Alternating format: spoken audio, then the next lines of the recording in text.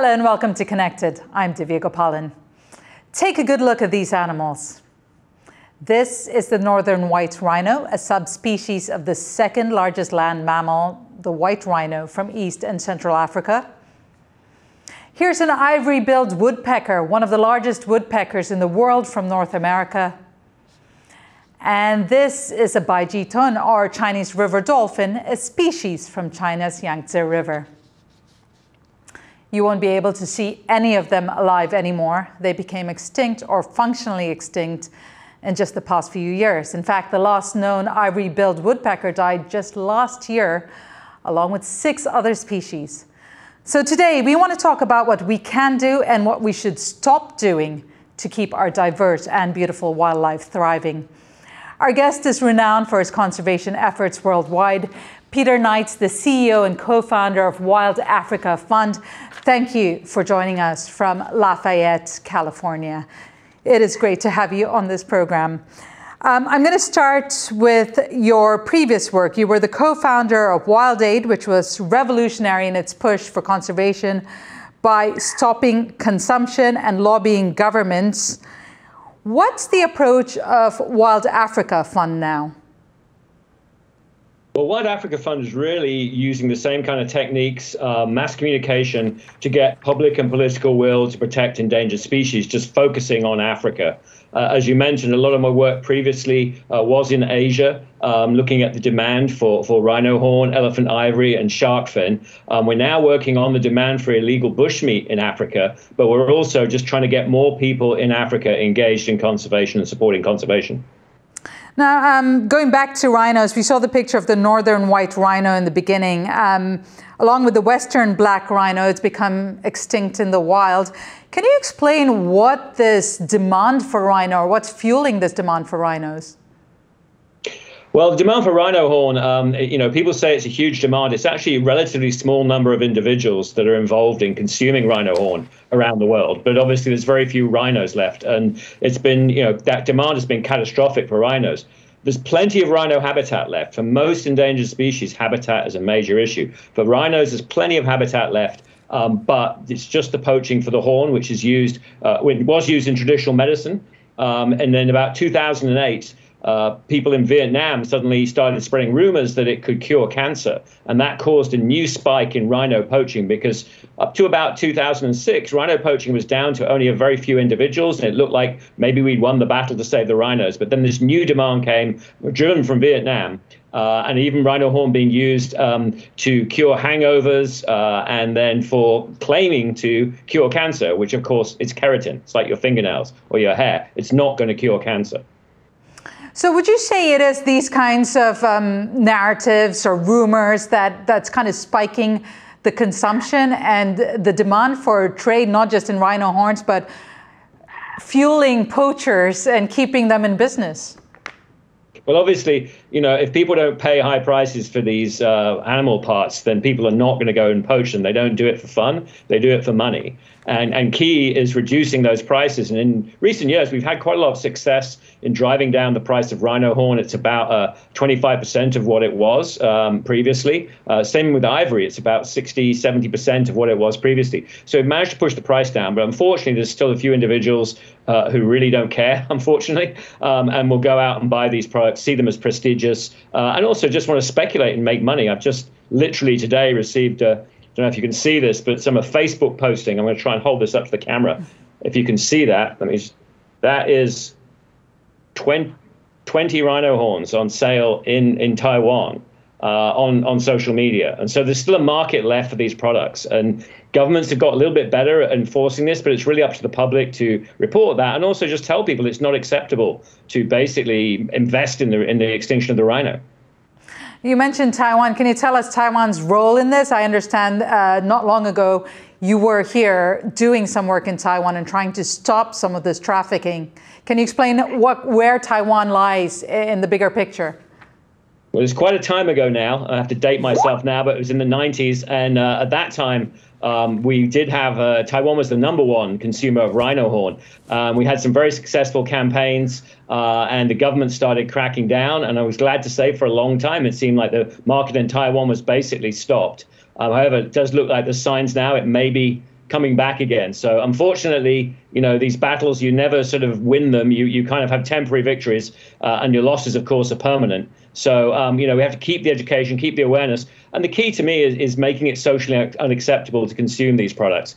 So I did have one rhino horn trader in, uh, in Taiwan back in the day say to me, well, my grandson called me Rhino Terminator and said I'm destroying the rhinos. And I said, well, it, it, it's, it's their future you're destroying. It's their future you're taking away. Right. Uh, At what point you made about bringing prices down? How does that work, especially when, as we're saying, the, the resource is depleting, so therefore supply is depleting, but demand is still high? How do you bring prices down? Uh, education, um, awareness. You know, as you know, the campaigns we ran at WildAid with Jackie Chan, Yao Ming, uh, over 200 very famous, Jay Chou, very famous people backing these campaigns and supporting them and educating people and make people understand that by purchasing them, they really may as well be, you know, pulling the trigger themselves.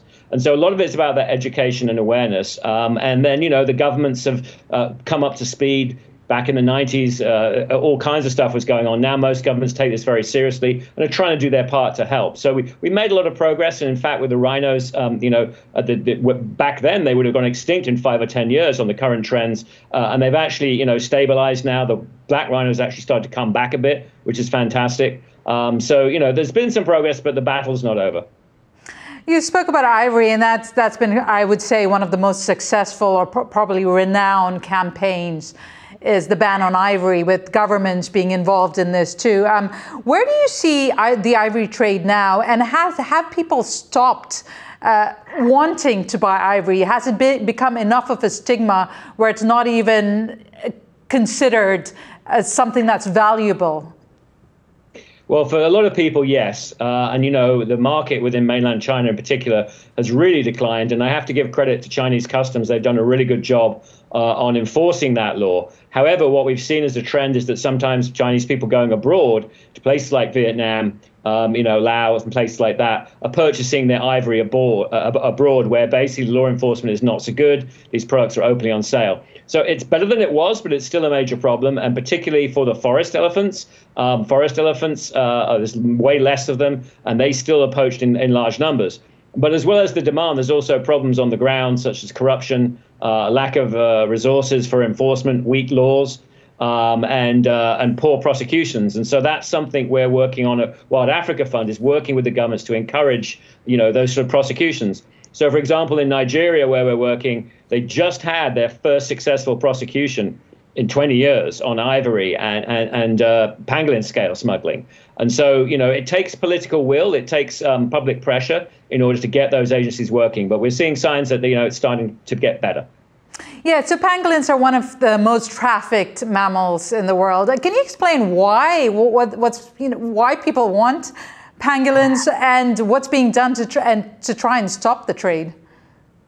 Yeah, one of the things about pangolins is that they don't really breed in captivity. So even the top zoos have a really hard time breeding in captivity. So our wild population is really all we have. Um, and they've been targeted mainly for their scales, which again is keratin. It's used in traditional medicine, but there's alternatives in traditional medicine. You don't have to have pangolins. And then it's also the bushmeat trade. So people are actually eating pangolins, um, even though there's not much meat on them. Uh, and so, you know, that that's something we're fighting against. And the the uh, the other aspect of that is, of course, zoonotic disease, disease transmission. And in the early days of COVID, um, they found COVID viruses, similar COVID viruses, in pangolins. Um, and you know, some of the dishes involved with pangolins involve raw blood.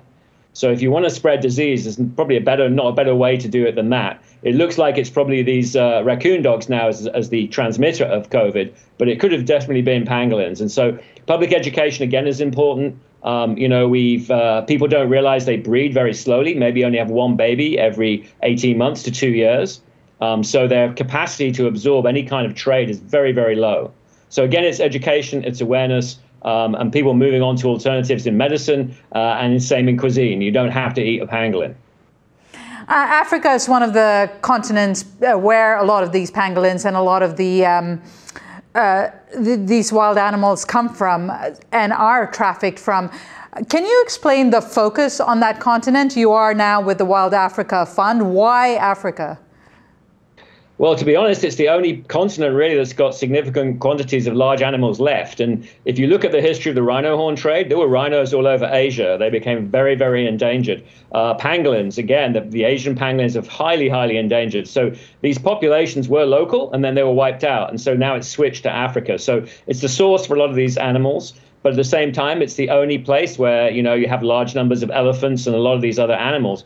The good news is that um, you know, when uh, Asia wiped out its large animals, when Europe wiped out its large animals, the United States wiped out its large animals, there wasn't really a financial benefit from keeping the animals. The only profit could be made from trade.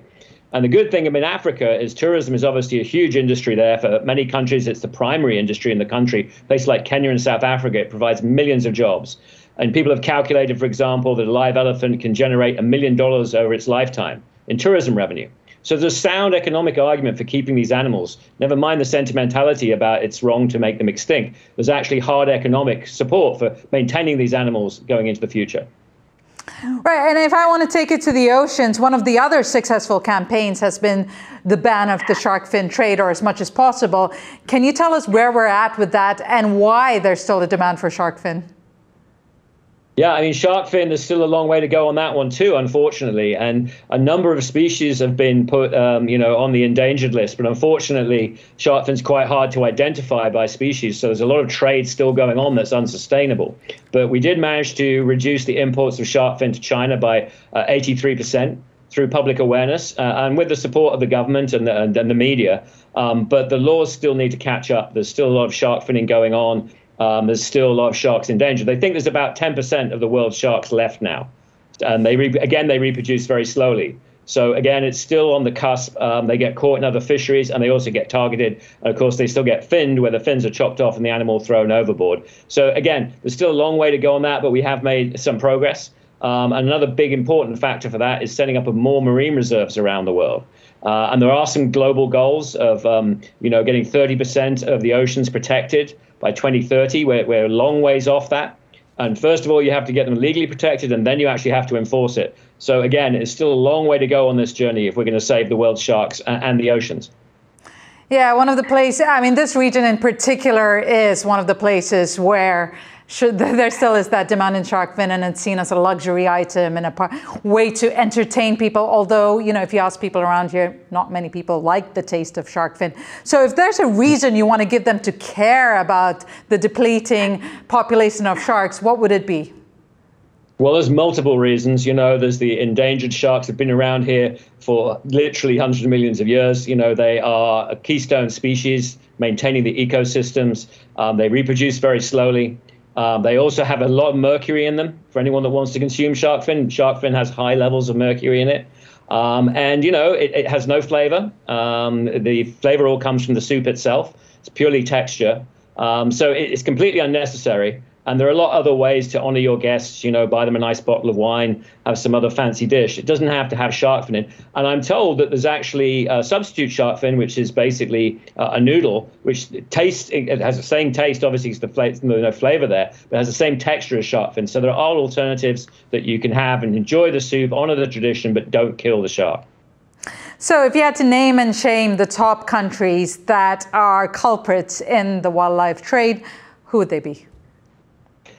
Well, that's a tough question depending on what kind of wildlife trade. Because even here in the United States, we have very good law enforcement and good laws, but we still have trafficking of reptiles, for example, live reptiles. And then if you look at China, again, they've made massive advances. Obviously, it's a huge country, and so you know there's a lot of demand there, and there's a lot of people that haven't quite got the message yet. Um, but they have made huge advances in the law enforcement and the public education. Uh, and then, you know, Vietnam was awful a few years ago. It's got a little bit better. It's still a major hub for trafficking. Nigeria, where we're working, has been, you know, the largest transit point for ivory and pangolin scales. We're trying to get new laws through, working with the government there. We're trying to get better enforcement, um, but they're they're in a pretty bad position. But you know, nobody's holier than thou in this game. There's every country has some issues, uh, and everybody has to work together if we're going to have some solutions. And there's that fine balance between economy and preserving nature. And one of the things that you're, you, you do is lobby governments. What are the biggest challenges in lobbying governments to be able to take into account? The importance of nature when they're trying to grow their economy or create livelihoods for people? we don't really lobby. We try and make them aware, and we try and basically, um, you know, have the people of the country rather than us coming in outside saying it. You know, letting them voice their opinions. But it, it's a tension, right? There's a million issues on every government's agenda, uh, and this is not necessarily number one. Uh, and it's about ensuring that you know they have the right information and they try and make the right decisions. And they realize, you know, a lot of our work now is is uh, telling people about the value that can be derived in the industry that's coming from wildlife. We're doing some work in Rwanda, for example, with the gorillas, and you know, the gorillas is one of the top earners in the country of foreign currency. Just people going to see the gorillas every day. So it's education and awareness, and then it's getting it to the list of priorities. And you know, um, it, it's always a challenge because there's so much else going on. But that's why we need uh, the media and we need the public on board and we need prominent people. Just as we work with Jackie Chan and Yao Ming and Jay Chou in Asia, we're working with the same kind of icons um, in Africa. We're doing a big campaign with musicians, over 120 musicians who've done concerts, which we put wildlife information in the middle of those concerts to educate people and reach young people. So it's about awareness, and that awareness has to go across the board, not just the politicians, but also the public.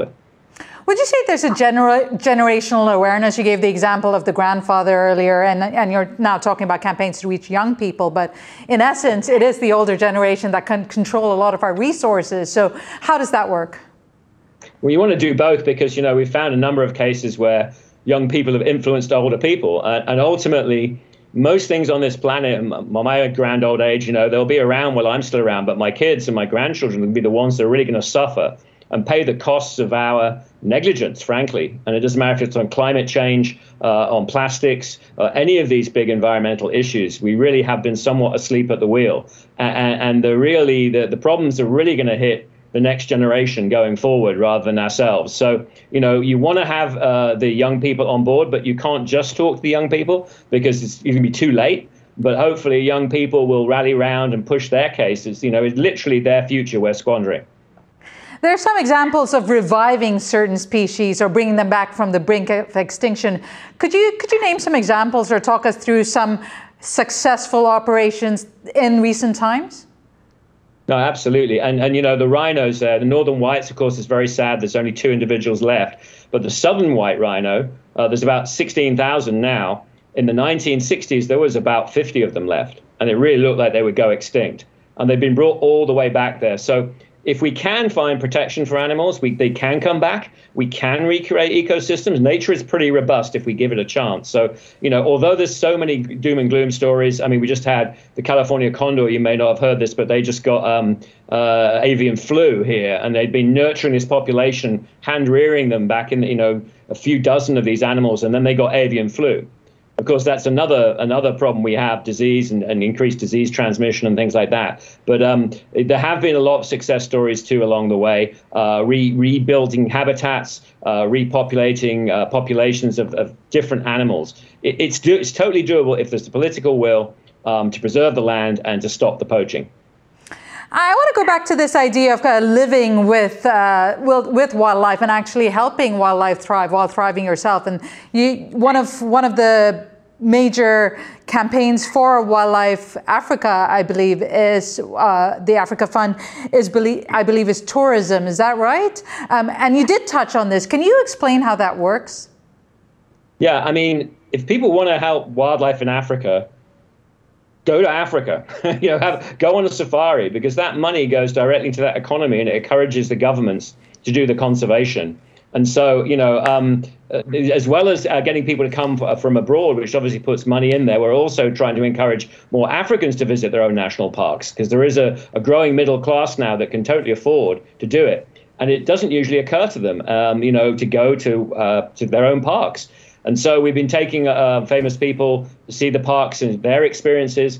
And every single person I've taken, um, you know, hasn't visited these parks themselves in their own country. And when they do, they love it and they want to take their family and they're completely sold. So encouraging people to get out into nature, encouraging them to see themselves uh, is, is, part of what we're doing there. And uh, we, for example, the First Lady of Zimbabwe, uh, we took her out to visit um, some parks and meet an elephant she'd never done before. Was tremendously excited by it, opened her eyes, and became way engaged in these issues and wants to really be an advocate for helping try to solve the human wildlife conflict and all the different issues. So, you know, it, it is really a life changing experience to go to Africa and see these animals and also meet the people. The people are amazing. The people are wonderful. They're protecting these animals. And so I would encourage people, um, you know, if they have that opportunity, please go and do it. It's, you won't regret it. It's an amazing thing. And at the same time, you are helping uh, to protect the wildlife. Right, you won't see that kind of magnificent, grand wildlife here in Taiwan, but here's a reason to visit. Taiwan's unique biodiversity has made it home to several endemic species.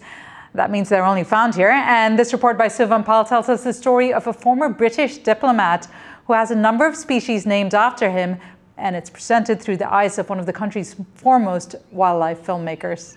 Take a look.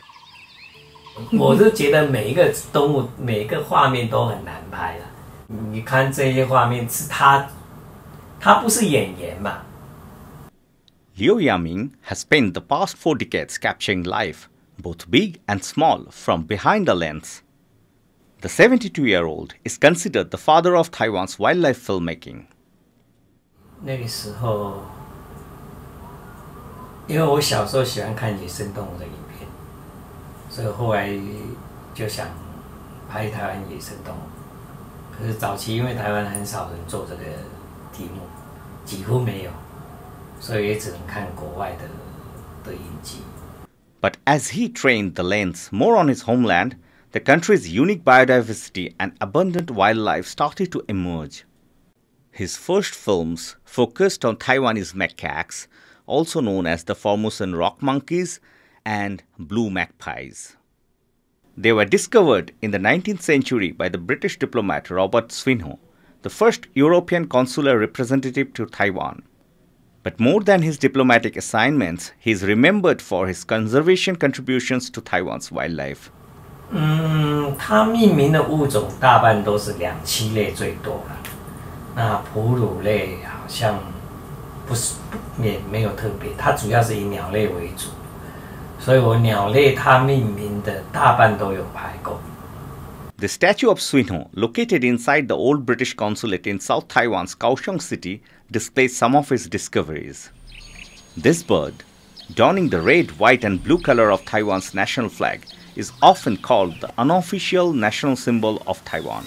It's called Swinhoe's pheasant. He is an amazing guy, not just for birds, but also for wildlife in general. I think that he described about described or identified around 227 bird species, 40 mammals, and then countless other things such as you know terrestrial snails, freshwater animal, you know plants, insects. He was there and he did so much for Taiwan's uh, natural history and recording.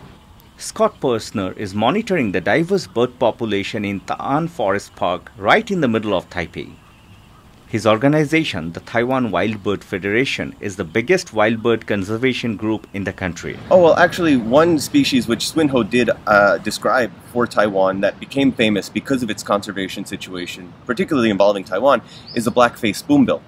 Because the black-faced spoonbill is an endangered water bird species. It's endemic to East Asia, and he described it in the in the 1860s. And actually, it was in the late 1980s, around 1988, 1989, that people realized, thanks to a study done by people in Hong Kong, that uh, the bird was critically endangered, that there were less than 300 of them in the world.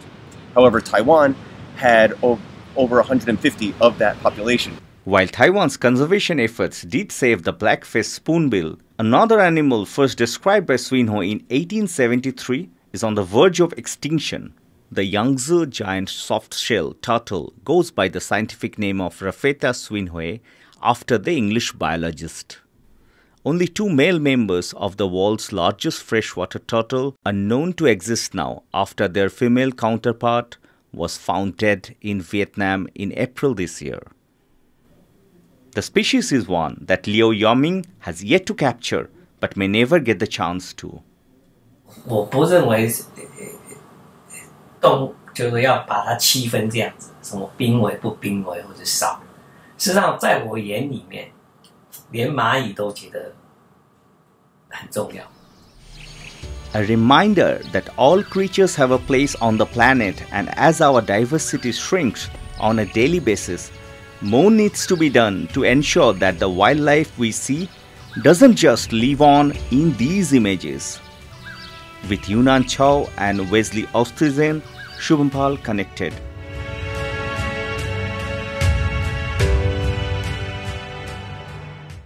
Peter, we're coming to the end of the show, but I do like to leave our viewers with a thought, or in this case, a call to action. Can you give us some words of inspiration or encouragement to help us push harder to protect our wildlife? Well, I think, you know, the, the rarest commodity we're aware of in the universe is life, right? We haven't yet found it anywhere else. And we live in this incredible, the beautiful images there, but the incredible diversity on this planet. We're so blessed. We're so lucky. and, we, and we can't squander it. We can't squander it in what will probably be one or two generations. Um, I just encourage everybody to get out in nature as much as they can. Uh, you know, the city life can be pretty, uh, pretty tough.